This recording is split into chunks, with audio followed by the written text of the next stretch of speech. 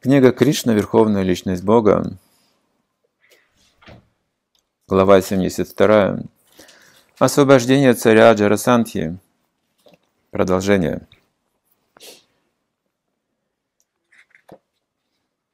Итак, для того, чтобы совершить Раджасу и Ягью Махараджи Тиштири, нужно было покорить всех царей. И все цари приняли власть Махараджи Тиштири с радостью. Ну, с некоторыми были сражения, конечно. Он разослал своих братьев в разные стороны света, и они покорили мир. Все признали власть Тиштиры, императорскую. Остался единственный царь, непокоренный Джарсантха, очень могущественный царь. Он не покорялся, потому что никто не мог его победить. То есть демоны, они полагаются ну, только на авторитет силы. Почему я прав? Что сильнее тебя. Их не интересуют шастры, какие-то выводы Писания или истина. Я прав, потому что я сильнее. Ты споришь, я спорю. Давай сразимся. И будет ясно, кто прав. Так они решают все вопросы. Джарасандха пленил много царей и предлагал их в жертву Господу Шиве по какие-то дни.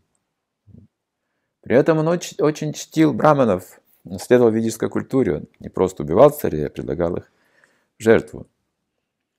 Как люди не просто едят мясо, а в жертву сначала предлагают, потом едят мясо. Ну вот, такое же сознание. Он был демоном, ведическим демоном. И он знал, что, также понимал, был разумен, что его репутация... Если бы они пошли туда армиями, ну, не хотели проливать кровь перед Раджасу Ягьей, войну затевать, долгая история. Они переоделись браманами, Кришна, Арджуна и Пимасе. Так явились Джарасандхи с просьбой. Джарасандха был очень проницательный человек. Посмотрел сразу, понял, что это не браманы. Но вспомнил Бали Махараджа, своего родственника. Кришна намекнул ему до этого,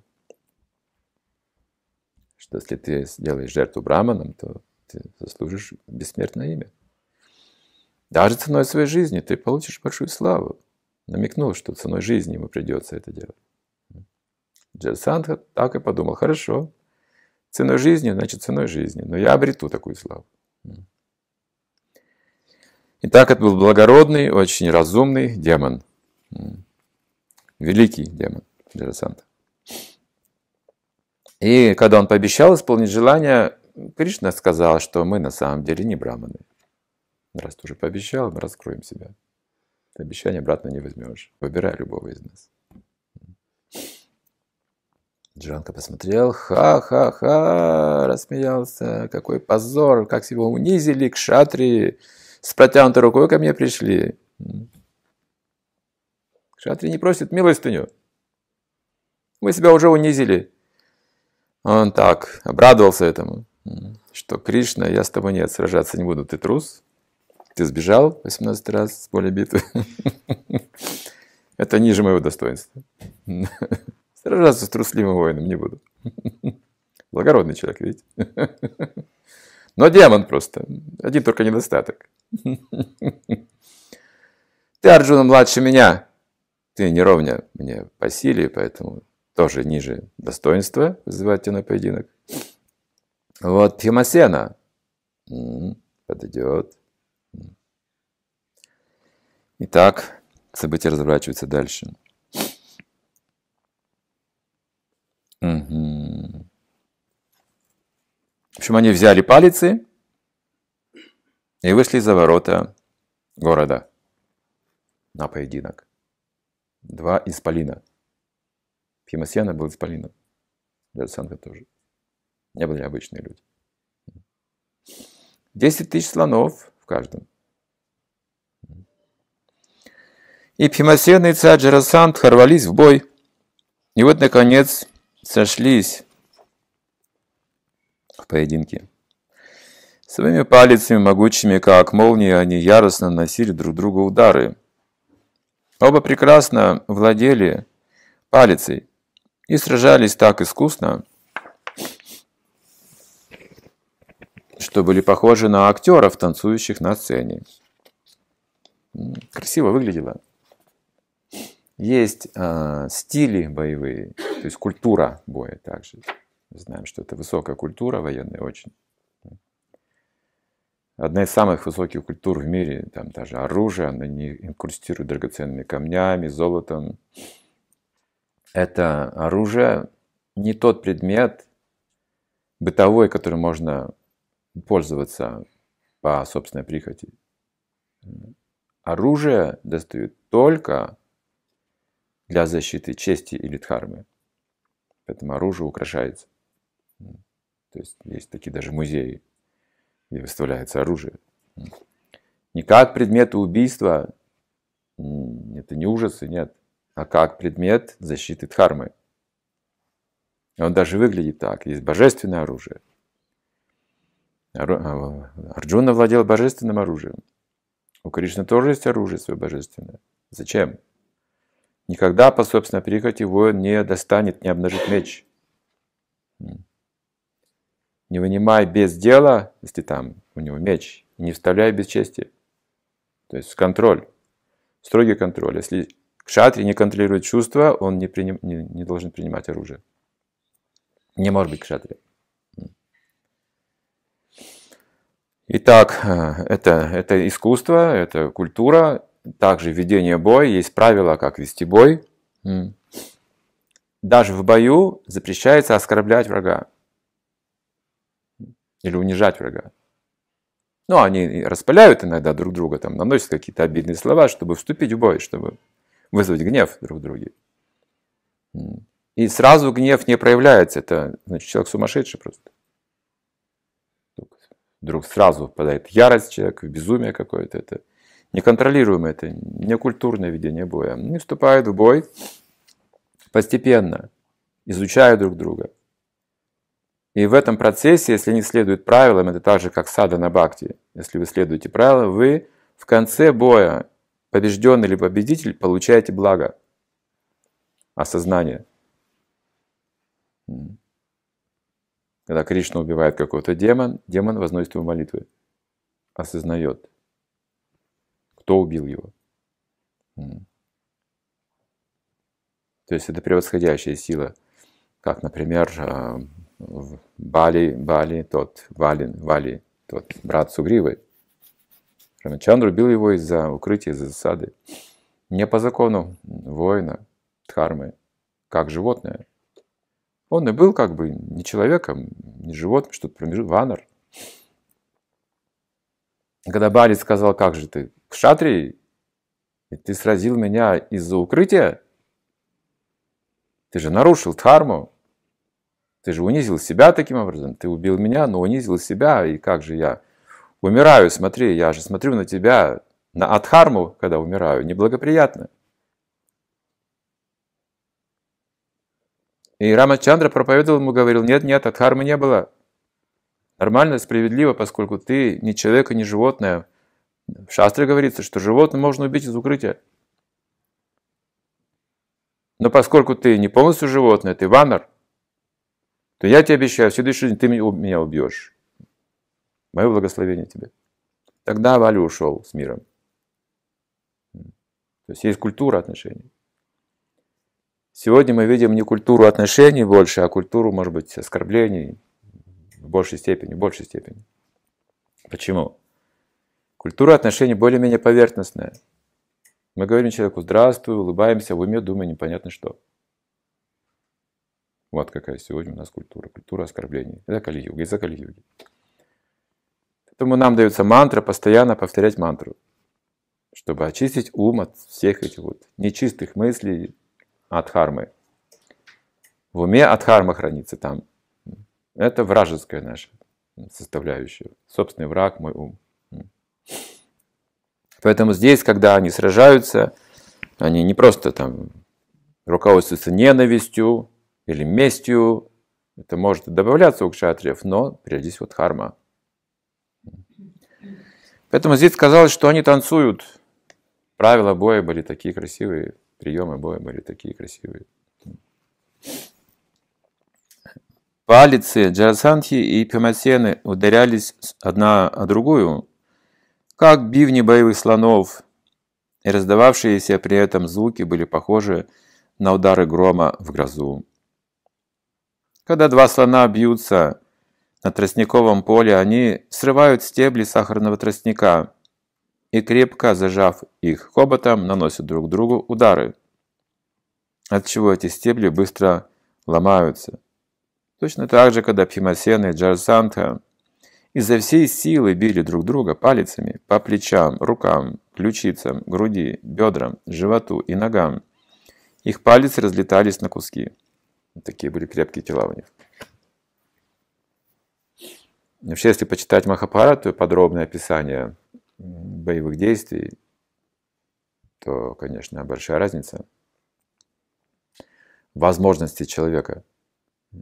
Они получали ужасные ранения, причем тут же восстанавливались.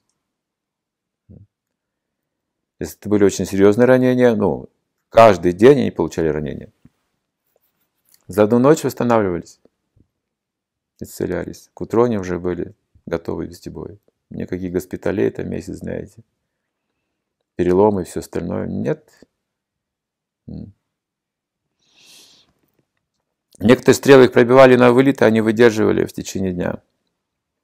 И если воин погибал, Пропада говорит, на поле битвы, так в таком, то, скорее всего, от жажды, чем от ран. Воды не хватало. Что очень тяжелая работа. Такая жизненная сила была. Мы читаем, что потоки стрел выпускали друг друга. Фишмадеев был весь пронзен стрелами. Полгода ждал благоприятного времени, чтобы уйти. Мы спрашивали у одного духовного учителя, а как это возможно вообще? Одно ножевое ранение, человек умирает. Тут столько поток стрел его весь. Он живет еще полгода и выбирает себе время благоприятное. И ответ был простой. Это возможно благодаря аскезам. Аскеза дает силу, внутренней энергии, жизненной силе и телу также. Скоро они разбили все свои палицы и приготовились драться в рукопашную. Разъяренные Джайсант и Пимасена начали бить друг друга могучими кулаками, то есть уже нанесли друг другу много боли, поэтому их гнев увеличивается, видите. Постепенно он увеличивается, не сразу. При этом э, раздавались, раздавался такой шум, что казалось, будто молотом бьют по наковальне или в небе грохочет гром. Джарасантха и Пимасена были похожи на двух сражающихся слонов.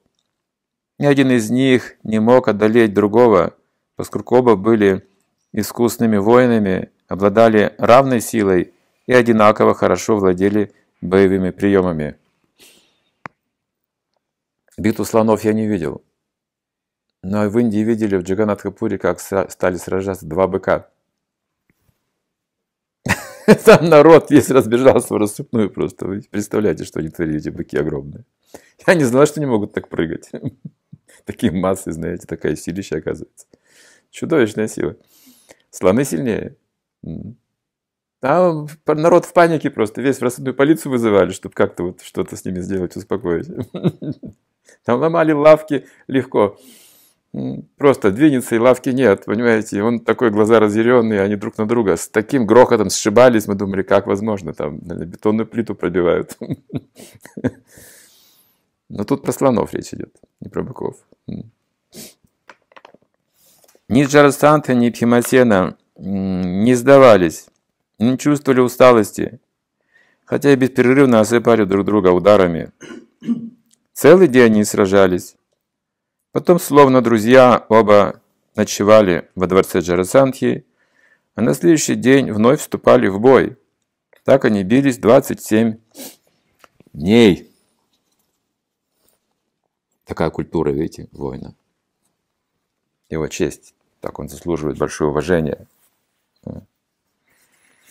Бой закончился. Ну, пойдем пообед, поужинаем. Не устал ты, нет? Должен быть утомился, а? Пойдем поужинаем. Враг мой. Но с врагом тоже можно поговорить на интересные темы. Это очень интересно изучать врагов тоже. Не думали об этом? Не только друзей. Враги тоже должны быть нам понятны. Мы тоже должны научиться понимать как бы разные вот эти вот позиции людей, их природы. Эта природа описана, она. В Гите все описано, но нам нужно это еще понять, столкнуться с этим. В жизни. В жизни.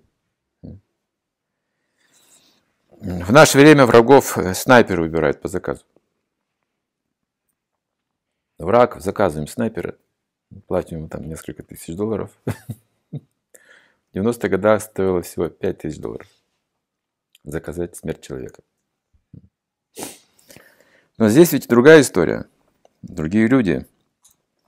На 28-й день Пимасена сказал Кришне, «О, Кришна, я должен 28 день. Я должен честно признаться, что не могу победить Джарасандху. 27 дней Пимасена верил в себя.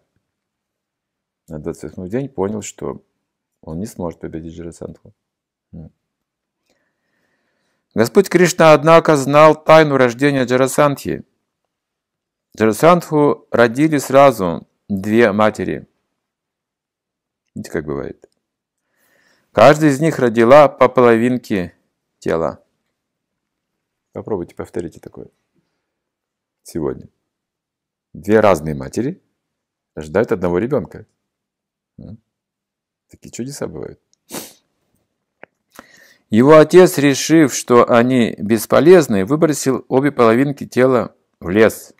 Ну что с половинками делать? Выбросил в лес, ну что делать? Отцу пришлось так поступить. Там их нашла колдунья по имени Джара. Ей удалось полностью срастить обе половинки. Современная наука еще у Джары надо учиться им. У той колдуньи. Они не знают, как это сделать. Они знают, как разъединить, как соединить труднее им. Осведомленный об этом Кришна знал, как убить Джарасандху. Он дал понять Пимасене, что поскольку Джарасандха обрел жизнь благодаря соединению двух половинок его тела, убить его можно только снова разделив эти половинки. Господь Кришна вложил Пимасену свою силу и показал ему, как убить Джарасандху. Он отломил веточку дерева и расщепил ее надвое. Видите, он не словами показал это, а показал на примере. Не проводил семинар, просто взял веточку. Люди же разумные были. Не надо семинара, просто вот веточку разломил. О, и все понятно стало. Или другой пример. Люди же не понимают сразу, да? Тогда говорят, вот сломай одну ветку. Можно. Две труднее, три труднее. 10 не можешь. Что это означает? Понимаешь? Понимаю. Нужно быть вместе. Все, весь семинар, видите. Когда-то люди мыслили образно, наука была образная, сегодня она абстрактная, теоретическая, тогда образная. Любое ваше утверждение должно подтверждаться либо шастрами, либо примером из жизни. Только так, никакой теории. Итак, Кришна сказал, это возможно, видишь, ветка же расщепляется. Вот точно так же это произойдет.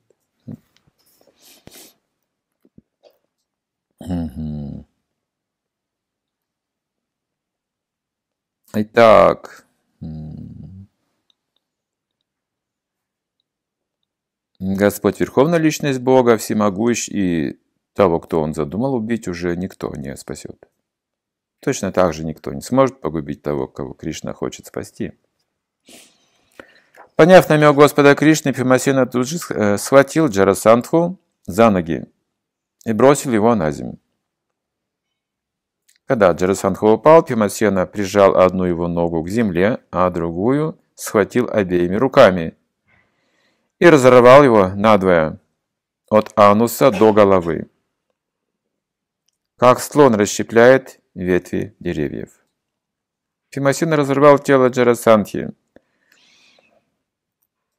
Наблюдавшие за поединком увидели, что тело Джарасанхи разорвано надвое, и у каждой его половины по одной стопе, одному бедру, одному яичку, по половине позвоночника, ровно, половине груди, по одной ключице, руке, глазу, уху и по половине лица. Там была какая-то особая линия мистическая, ровная.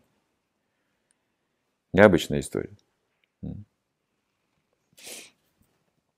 Когда известие о смерти Джарасанти достигло Магадхи, жители города возопили «Горе нам, горе!». А в это время Кришна Арджуна обнимали Фимасену и вы не заявили о своих притязаниях на престол, мешающих людям жить в мире. Это интересно, что у демонов нет мира в уме даже. Нет такого ну, как бы понятия внутри. Внешнее понятие есть, то есть не трогать друг друга, так скажем, пока. Называют миром. Давай сейчас, ты меня не трогаешь, я тебя не трогаю. Договорились? Это мир называется. То есть они о мире понятия вообще не имеют никакого.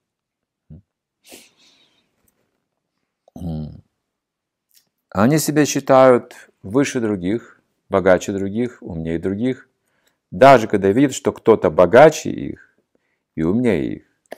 Все равно я умнее, все равно я богаче, я буду богаче, я буду умнее. Как я стану умнее и богаче или сильнее? Если я уничтожу этого человека, кто конкурирует со мной. Любой, кто вступает с ним в соревнование, становится врагом. Любой человек. Просто соревнование. Сразу враг. Мира понятия нет такого.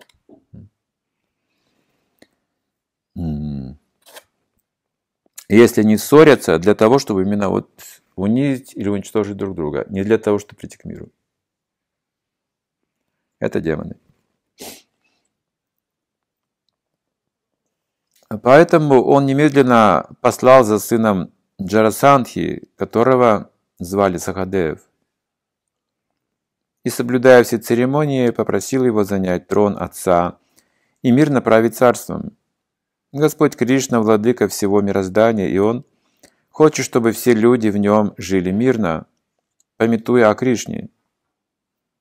Возведя Сахадеву на престол, Кришна освободил всех царей и царевичей, безвинно заточенных Джарасандхой в темницу. Так в книге Бхактивиданты Кришна, Верховная Личность Бога, заканчивается глава 72 «Освобождение царя Джарасандхи». Мы еще немного почитаем. По этой теме есть какие-то вопросы? По этой игре? Ну хорошо, вот интересно, вы рассказали вот этот момент, когда войны, когда вот эти враги, да, которые сражаются, они в какой-то момент могут ну, там, остановиться, пойти там пообедать, там, чай попить вместе, там, пообщаться, поизучать друг друга. Почему так получается, что в наше время вот мы можем там, с, преданные могут между собой поссориться, там, ну, конфликтовать, и какие-то там трудности возникнут. И это приводит к тому, что ну, они вообще там не общаются с друг другом, ну просто вот отношения там чуть ли не разрываются, они отдаляются друг от друга. Как, ну, вот, почему так происходит, что, что с нами произошло да, за это время, и как? Когда в те времена по-другому, как другая культура была. Это, да, то, о чем ты говоришь сегодня, это эмоциональная сила чувств такова эмоциональная сторона. А шастры говорят о дхарме, высший уровень. Эмоциональная сторона тоже есть, но дхарму исполняют вместе с ними. Дхарму людей поддерживают вместе. Если даже иногда есть неприятности какие-то между нами происходят, дхарма нас держит вместе. Например, человек ходит на работу. Это его обязанность кармы, так сказать, пример. На работе тоже бывает разногласия с начальством или с подчиненными, или друг с другом. Тоже могут быть конфликты. Но человек же все равно выходит на работу. Карма. Так мир поддерживается. Если бы дхармы не было, все бы распалось сразу же. Если были бы только эмоции. Все бы кончено было. Кришна говорит, если бы я не исполнял свои обязанности, миры были бы все разрушены. Никто бы не общался друг с другом. За малейшую обиду люди бы отворачивали друг от друга и все. Это как в семье. Муж и жена много друг друга доставляют беспокойств, не так ли? Но у них ответственность за семью, за детей, за воспитание. И они все равно продолжают вместе и ищут какой-то выход. Путем дхармы они превосходят эту вот эмоциональную, чувственную сторону. Уровень. Это низкий уровень. Чувственный уровень самый низкий уровень. Если он усиливается, это трудно становится. Быть вместе, делать что-то вместе, хочется сбежать. Когда нельзя сбежать, бывает настолько сильное потрясение эмоциональное, что человек, не, не, не, не найдя выхода, совершает самоубийство. Такая сила чувств. Как люди привязываются друг к другу сегодня тоже, как потом они страдают, когда разрываются привязанности. Сегодня это ужасная картина. Ужасно. Дхарму потеряли люди. Не знаю, зачем жить, если нет этих чувств. Какой смысл жизни у них? Нет Кришны, нет этого. Непосредственно, ну, как раз таки правильным образом решать вот эти вопросы. Или нет? Вот просто как Прабу задал вопрос, что с преданными это происходит. Понятно, что преданные на разном уровне находятся, но тем не менее, как бы Кришна дает разума для того, чтобы вот эти вопросы тоже решать. Ну, то есть в общей которые помогают как бы, в мире и согласии жить, и помогают как бы, приближаться к Господу. Цель помогает. Мы же хотим достичь цели. И чтобы достичь цели, нужно двигаться. Двигаться вместе. Что поодиночке мы не можем достичь цели. Чтобы двигаться, нужно быть вместе. Духовно продвигаться. Ради цели мы можем поддерживать это единство если у нас есть стремление к высшей цели. Насколько мы устремлены к высшей цели, настолько мы сильны в дхарме. Если такой высокой цели нет, то зачем все это терпеть? Я брошу это, пойду займусь чем-то другим.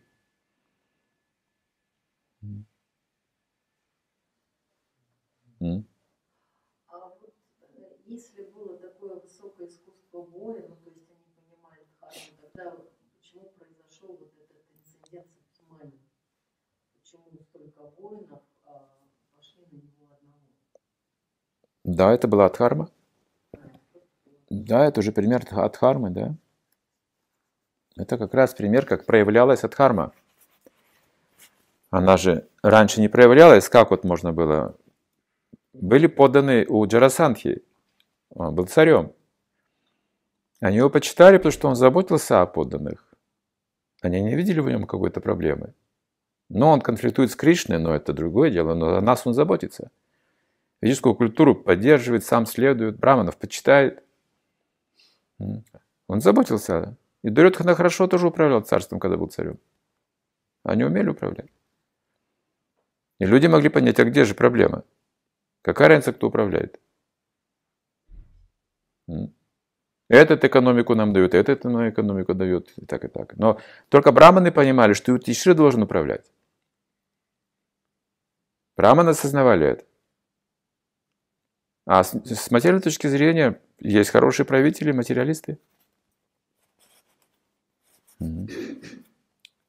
Поэтому в, в истории с пандовыми прошли годы целые, их изгнаний там, этих лишений, и в, в, эти, в это время, в, в этом процессе, процессе отношений проявлялась Адхарма больше, больше, больше со стороны Дурьотхана. Она стала проявляться. На Курушетре она полностью проявилась. Адхарма стала очевидной, что это Адхарма, что это представители безбожия.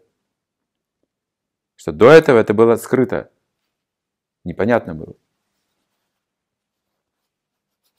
Как в человеке говорится, вроде порядочный человек, в трудную ситуацию попал, оказался предателем. Или лицемером, или оскорбителем, или клеветником. Видите, Адхарма проявилась тут. А так не видно было. Мы берем с вами большую ответственность в Исконе, смотреть, что-то делать. Тут все проявится, все наши качества, и духовные, и, демонические, все выйдет наружу.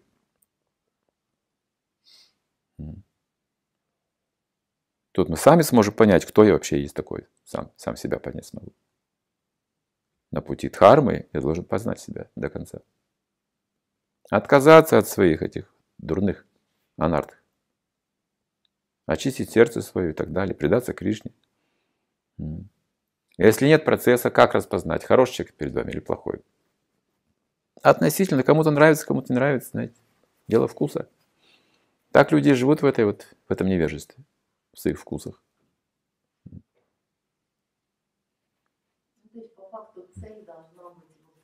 Выявить в себе вот эти анархии и работать.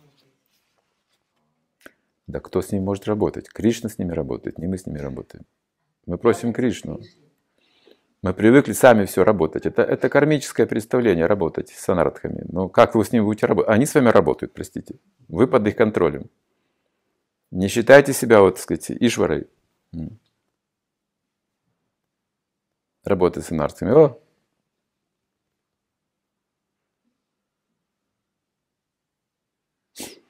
Работяги. Ой-ой-ой.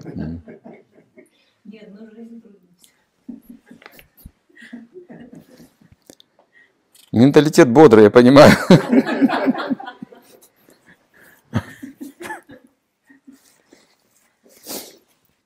Мы немножко почитаем. Глава 73. Господь Кришна возвращается в Хастинапур. Цари, которые Господь Кришна освободил после смерти Джарасантхи, были правителями разных стран мира. Джарасантха обладал таким могуществом, что одержал победу над 20 800 царями и царевичами. Он заточил их в горной пещере, превращенной в крепость, и держал там в течение долгого времени.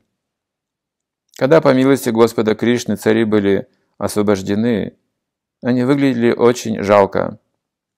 Их одежда превратилась в лохмотья, а лица высохли, потому что в этих условиях цари не могли заботиться о своем здоровье. Они совсем обессилели от голода, и их тела утратили красоту и сияние. Долгое заточение привело к тому, что руки и ноги их ослабели и не могли действовать. До такого состояния они дошли. Все они великие преданные при этом. Как выясняется, все они великие преданные дошли до такого состояния. Как вам? Пример преданных, у которых уже ни руки, ни ноги не работают. Да, прошли такие трудности. Собственно, для этого Кришна и пришел туда, к Джарасандхи. Не только Раджасу и Яги, две цели было. Они совместились вместе по совету Удавы. Были две просьбы. Когда Кришна был в Двараке, в зале собраний, то пришел посланец. Нарада ему не пришел, сказал, что Тиштель предлагает тебе в Хастинапур. Планируется Раджасу Ягья. Для тебя он все это делает. И Кришна не мог отказать Ютиштире.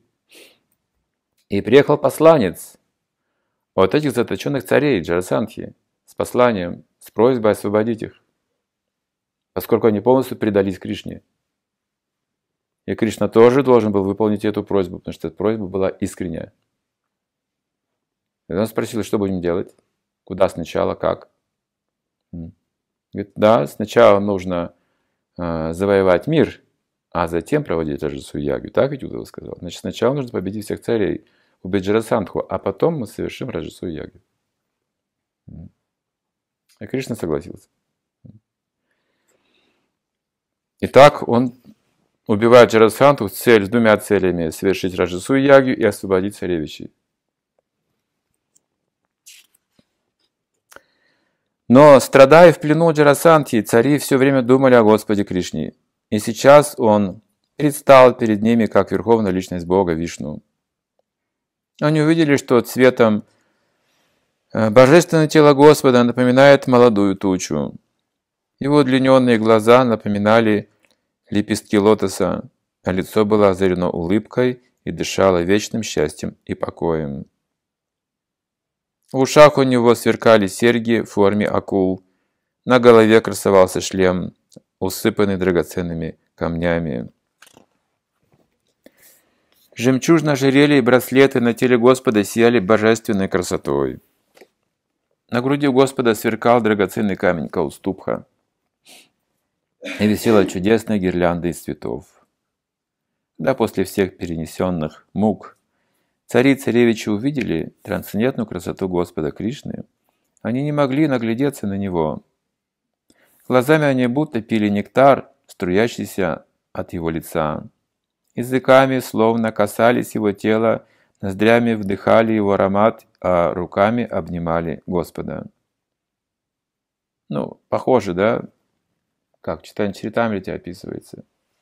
Также любовь Гопи, вот эта любовь к Богу, она обладает силой, э, устремля... когда устремляются все органы, все чувства на Кришну одновременно. Одновременно. Поэтому ум останавливается, он больше не может руководить. Потому что он говинда, он управляет чувствами. То есть спонтанно это происходит, не осмысливая ничего. Здесь пока до ума не дойдет, мы не чувствуем, не осознаем. Но есть трансцендентные чувства, которые совершенны. Не локализованы, а совершенны. Чувствовать означает также осмысливать, также обладать разумом. На духовном уровне нет разницы. И у Кришны такие чувства, которыми наделяет преданных. Созерцая верховную личность Бога, они смыли с себя все грехи, и потому смогли без, безраздельно предаться лотосным стопам Господа. В Бхагавадгите сказано, что пока человек не очистится от всех последствий своих грехов, он не сможет полностью предаться лотосным стопам Господа. Увидев Господа Кришну, цари забыли обо всех выпавших на их долю невзгодах. Благоговейно сложив ладони, они вознесли Господу молитвы, проникнутые преданностью. Вот такая судьба была у этих царей. Они расскажут, они уже понимают все, все причины и следствия уже понимают, уже они очищены сейчас. Поэтому они могут все сами о себе рассказать. Есть э, момент жизни, когда мы нуждаемся, чтобы нам кто-то рассказал о нас, что мы себя представляем, кто мы вообще такие. Мы к друзьям обычно идем. Если от друзей не можем понять, кто же есть, друг, враг, хороший, плохой, жизнь запутана, сложностей много у меня. Я иду к психологу тогда. Кто-то психиатру, но психологи сейчас берут эту функцию мирские, э, рассказывать о людях, или астрологи. Рассказывают, кто ты, вот, под каким ты влиянием, какие у тебя качества, черты, характер, будущее и так далее. Что, к чему ты склонен, человек не знает ничего обусловленный. Пока от кармы не освободился, он понятия не имеет о себе. Он пытается действовать спонтанно, но в отсутствии разума он совершает постоянные ошибки. Но когда человек очищается, как здесь говорится, от кармы, он все видит уже сам. Он уже понимает, почему он царь, царем был или есть, почему Джарасандха пленил его, почему он долгое время находился в таком положении, он начинает все это осознавать.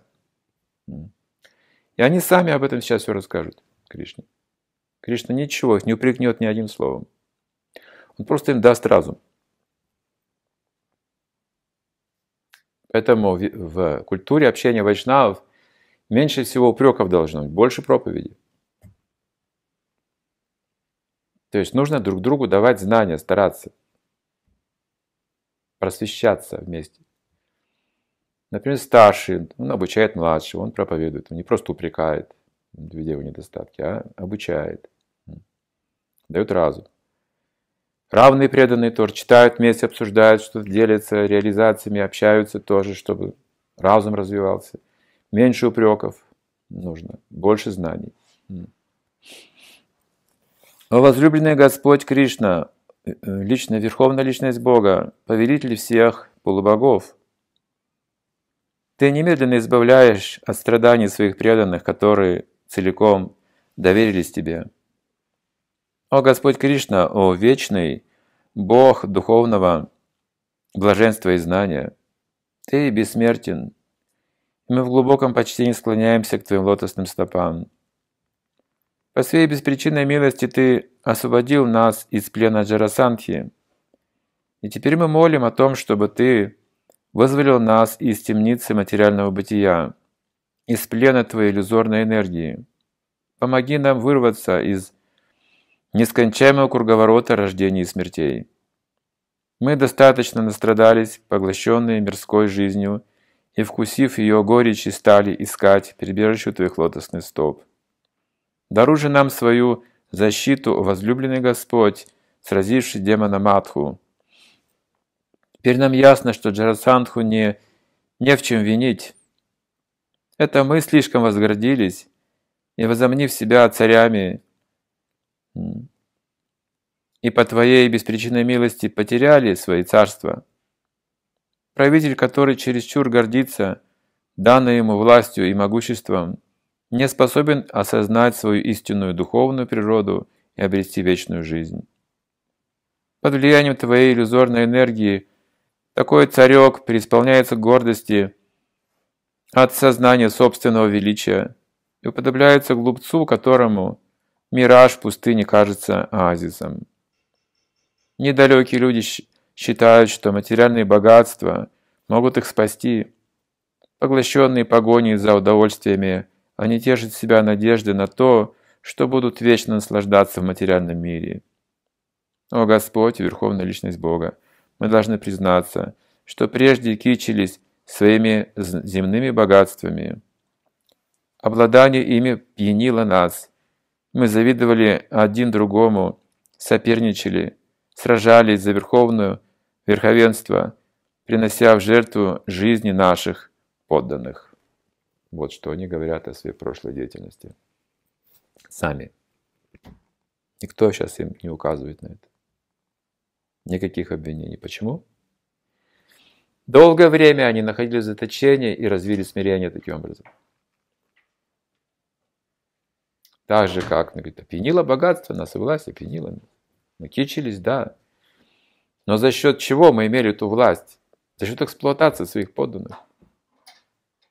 И мы использовали их жизнь и жизненную силу. Не, даже не замечая этого. Так же, как на Лаковар Манигрива они были опьянены своим богатством. И тоже долгое время стали, попали в формы жизни деревьев. Долгое время. Во Враджи они родились деревьями, выросли там. То есть, как мы видим, чтобы развить, вот освободиться от аханкары, нужно немало времени. Это процесс трудный для человека. Ну, здесь вот это слагается в истории этот процесс.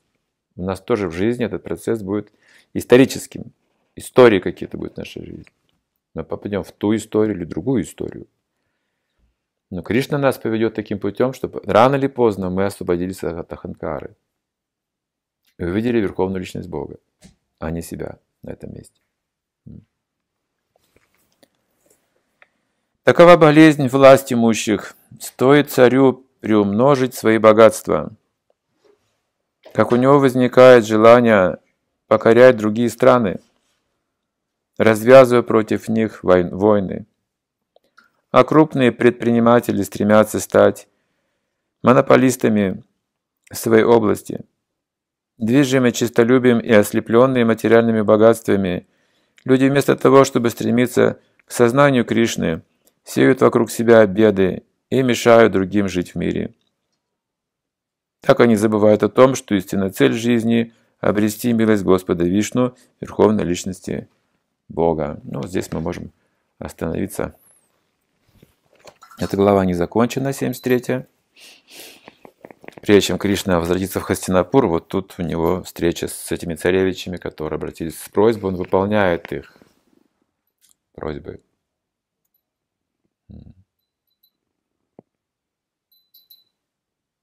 является перед ними, освобождает их. 20 800 царевичей, царей. Будут ли какие-то вопросы, дополнения?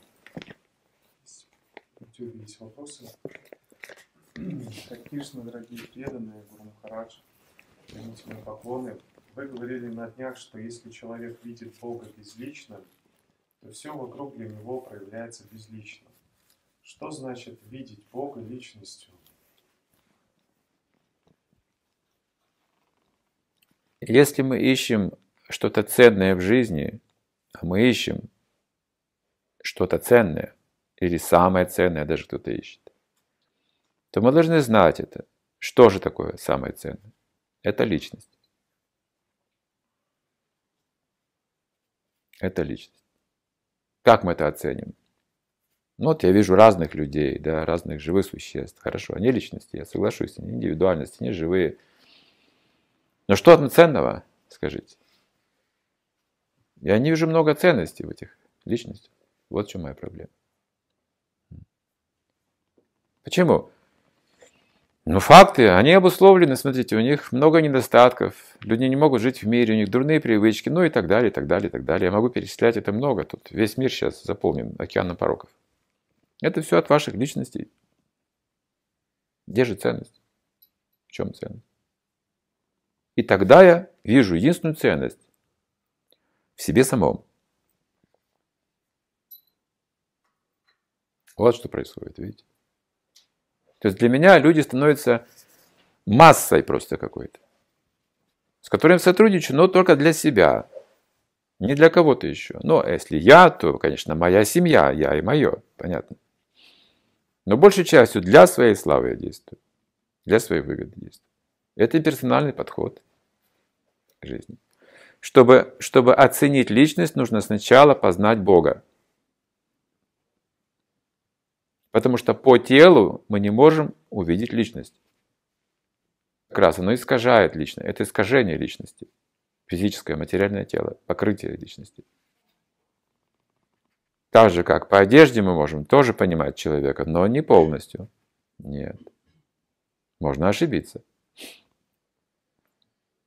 Также душа – это же вечная частичка Бога. И в этом ее ценность. Это великая ценность. Но как познать эту ценность? Вот мы пытаемся идти путем сознания Кришны, познать ценность души, личности. И если мы сможем понять, что душа цена, на самом деле поймем эту цену, мы будем распространять духовные знания, чтобы люди обрели, осознали эту душу.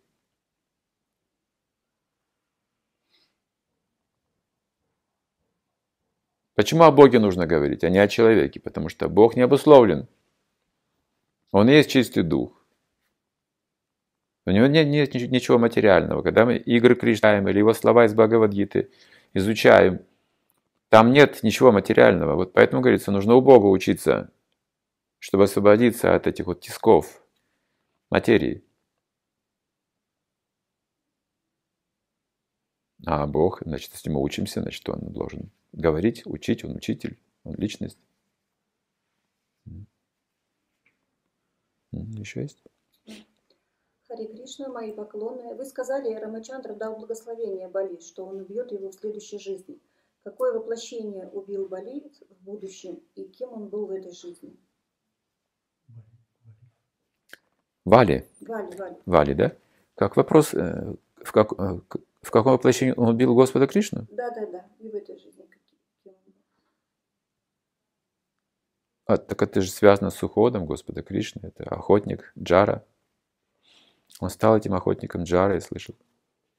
Из Рама Лил он перешел в Кришна Лилу потом. Этот охотник охотился на оленя, и вот он увидел стопу Кришны, перепутал ее с головой оленя, и выпустил стрелу, попал в пету Господа. И когда он увидел, что он сделал, что он пустил стрелу в Господа, он увидел его в четырехрукой форме, Господь явился ему. Он был в ужасе, он просил прощения, он каялся, он упал к стопам Кришны. Кришна говорит, нет, все справедливо, потому что в прошлой жизни я тебя убил из-за укрытия, как охотник, и в этой жизни ты стал охотником и убил меня в пету. В пету же никого не убивают, но Кришна так ушел. Влад, э, подскажите, где в практике преданного служения граница между верой в себя и где вера в Кришну? И нужно ли вообще верить в себя?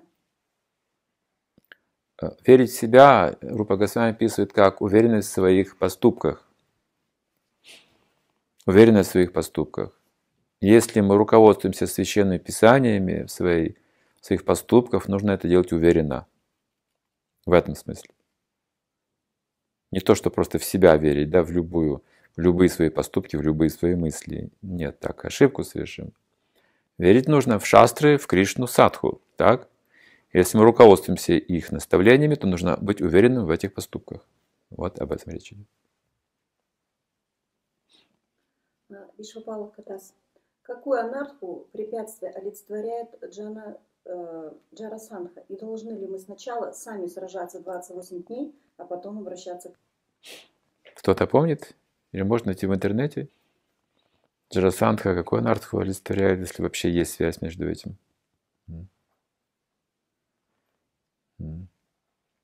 Но высокомерие точно, потому что э, Кришна побеждал 18 раз.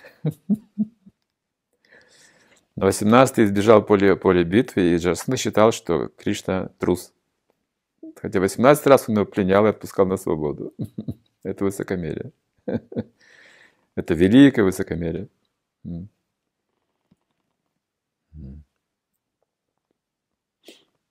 Еще какие вопросы? А, Александр Лысый, Хари Кришна, ваша милость. Прабхупада, комментируя Шримад Бхагаватам 3.17.22, пишет, асуры, как правило, отличаются могучим телосложением и потому обладают ясным умом и небывалой силой. Полубоги не такие, и объясните, пожалуйста, связь телосложения и ясности ума.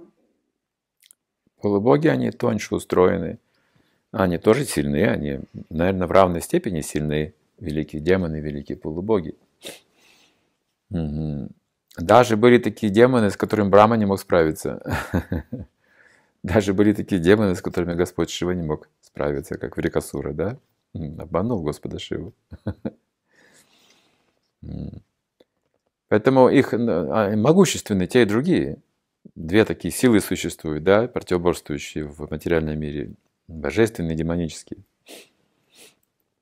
Но сила полубогов, она основана на сатвагуне, а сила демонов на раджагуне. Поэтому уступает. Почему? Потому что сатвагуна связана с Богом, а раджагуна не связана с Богом. Только по этой причине полубоги побеждают. Поэтому, а боги говорят «Индрарив якулам локам мридаянти юге юге». Он приходит из века в век как враг, как враг врагов Индры, враг демонов. В таком обличии приходит. Ну, потому что полубоги в сатвагоне по этой причине. А, Галицкая Наталья, Хари Кришна, дорогой Гурудев, примите, пожалуйста, мои поклоны. Скажите, пожалуйста, чему нас учит эта лила? Старями? О, там много потрясающих вещей можно обсудить. На каждом шагу там мы можем извлекать уроки нравственности, там, преданности, милосердия Господа, вот, отваги и преданности пандавов. На каждом шагу это все пронизано. Но суть в чем? Что эти 20 800 царей, они обрели эту милость, да, увидеть Господа воочию. Осознав все свои греховные, греховное прошлое. Осознав все греховное прошлое и прославляя Господа при этом.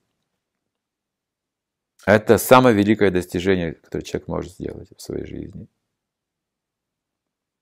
То есть признать все свои недостатки прошлых жизней, все свое безбожие прошлых жизней и прославить при этом Бога нужно. Неочищенный человек никогда не сможет прославить Бога. Если он скажет, вот молись Богу, он пойдет молиться Богу. Но если что-то не по нему в жизни, он обвинит Бога в этом. Такой человек никогда не увидит Бога. Он просто обвинит Бога или преданных обвинит, или наставников обвинит. И государство обвинит, там, не знаю, кого угодно обвинит. О себе речи нет. Как же Расанха? 18 раз был побежден Кришной. И даже этого не заметил. Заметил только одну вещь. Кришна 18 раз покинул поле боя. Трус. Тем не менее, Джарасандха увидел Бога, видите? Как демон. Как демон увидел Бога. Не прославляя его, конечно. Но Кришна милостив, что даже демоны, которые погибают от его руки или в его присутствии, получают освобождение. Поэтому Кришну есть за что прославлять.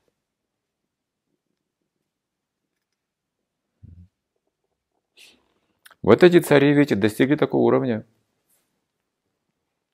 В заточении, в тюрьме они находились долгое время, потеряли здоровье.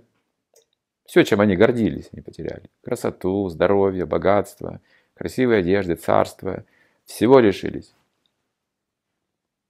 При этом они не обвинили в этом Бога. За что, да?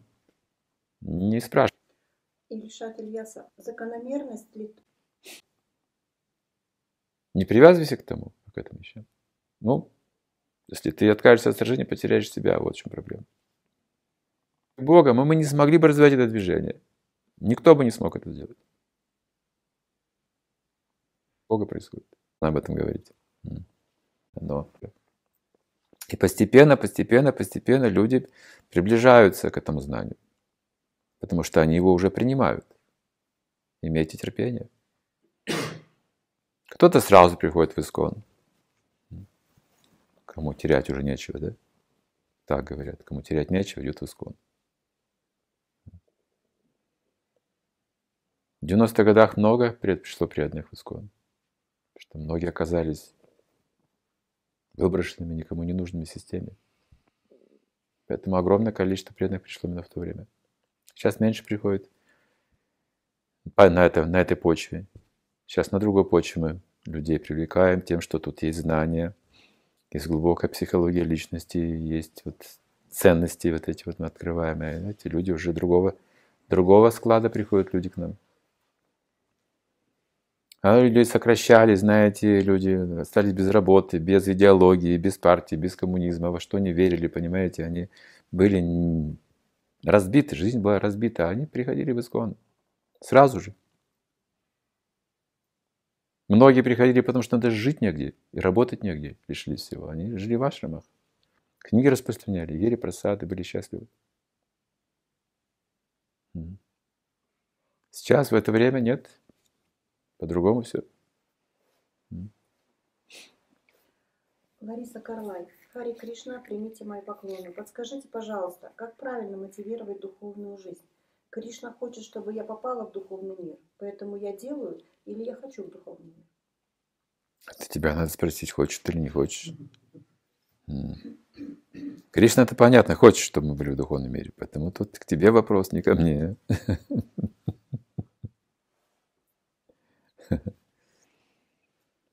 Хотя бы делай вид, что хочешь. Уже как-то Кришне будет приятнее.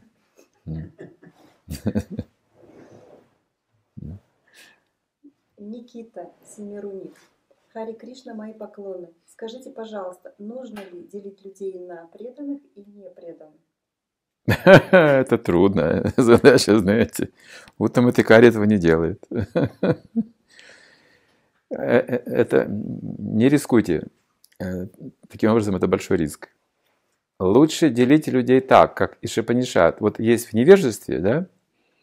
А есть люди не в невежестве. Больше в невежестве, меньше. Может быть, так лучше будет, легче.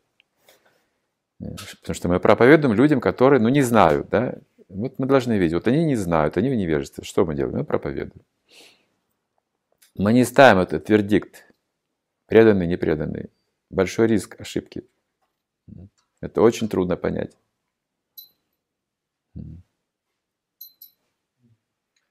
Харе Кришна, как победить жадность? Жадность? Да, да, надо победить жадность. Вот эта мантра есть специальная.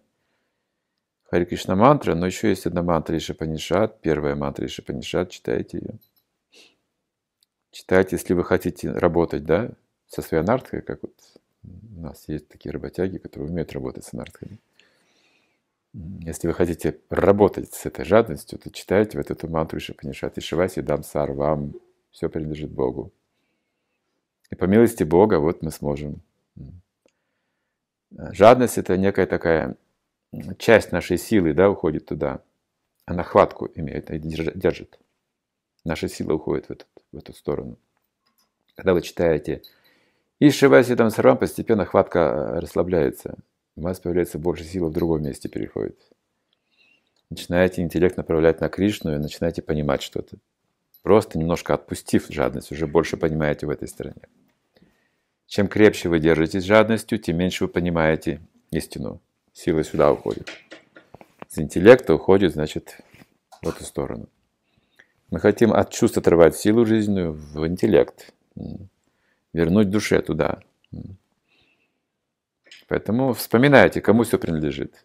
У меня здесь ничего нет.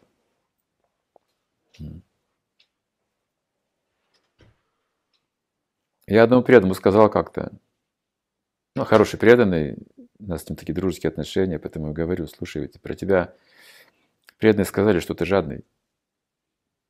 Он, да, да, я жадный, жадный, я знаю, что я жадный, да. Но если я не буду жадным, у меня денег не будет. То есть человек не знает, да, как быть. Вот. Вроде я понимаю, что жадный, не хочу быть жадным, но если я не буду жадным, я деньги потеряю.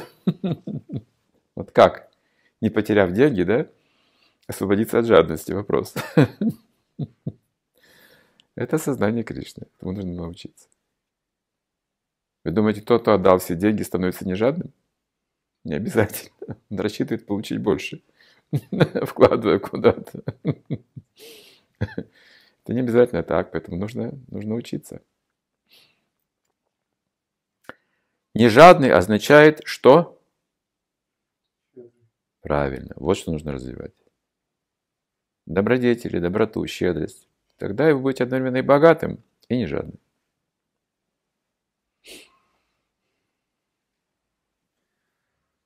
еще один длинный вопрос. Так как Аджамила произнес имя Нарайна, то Господь дает ему освобождение. Но ведь Аджамила был грешником, и в момент ухода, несмотря на то, что произнес имя Бога, у Аджамила остановилась как, по моему основанию, признают человека безгрешным, если у него полно материальных желаний, много грехов, совершенных в жизни? Нам Абхаз святого имени. Об этом там речь идет. С точки зрения наших грехов, поступков и желаний материальных, мы никогда не можем освободиться из материального мира. Мы нитя бадха. Никогда. Пока не получим милость. Как раз история об этом. Поэтому вы правы, как это возможно было. Ответ нам Абхаз. Святое имя Кришны. Последний вопрос.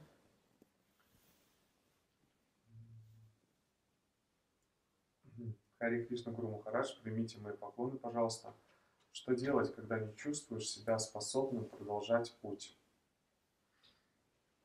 Когда не способен продолжать путь, нужна помощь. Общаться с преданными нужно. Например, если у вас ну, какой-то упадок, депрессия случилась, да, несчастье какое-то, вот, чувствуете себя плохо, обессилены, это время означает, дается для того, чтобы осмыслить свои поступки прошлые, свои намерения, ну, себя, да, проанализировать себя, может быть. Не только себя, а проанализировать вообще вот мир, в котором мы живем, общество, в котором мы находимся, с преданными наши отношения проанализировать. Как мы пришли к такому состоянию, да? С одной стороны. С другой стороны, чтобы это трезво проанализировать, нам нужна поддержка. Поддержка. Если вы не совершаете оскорблений, если вы не совершаете оскорблений, то это несложно.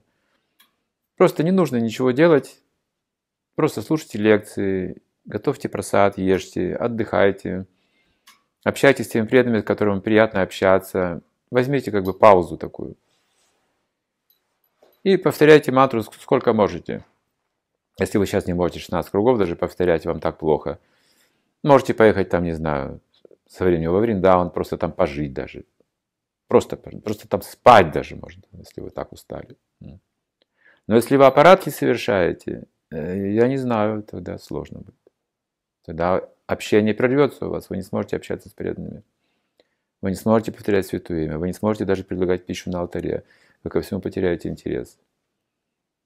Тогда болезнь тяжелее лечить такую болезнь. Нужно много времени. Если нет оскорблений, я не вижу большой проблемы. Скорее это как депрессивная усталость, может быть, или разочарованность в чем-то. Ничего страшного. Делайте то, что можете, общайтесь с преданными, восстановитесь. Аппаратки труднее лечить, потому что связь может разорваться, и вкуса нет, и тут ничего не сделаешь. Тут уже на Кришну полагаемся, когда и как человек вернется. От тяжести аппаратов тоже зависит. Скорее всего, если вы уже теряете силы, то да, есть какие-то аппаратки тоже. Скорее всего. Наверное, неосознанные, скорее всего, как судя по вопросу. Это пройдет. Это как, знаете, такая болезнь, которая проходит сам по себе. Не хроническая болезнь. Ну, насморк там, ну, почихал, покашлял, ну, пройдет. Но проанализируйте, подумайте, осмыслите себя, свои поступки. Это хорошо. Всем спасибо.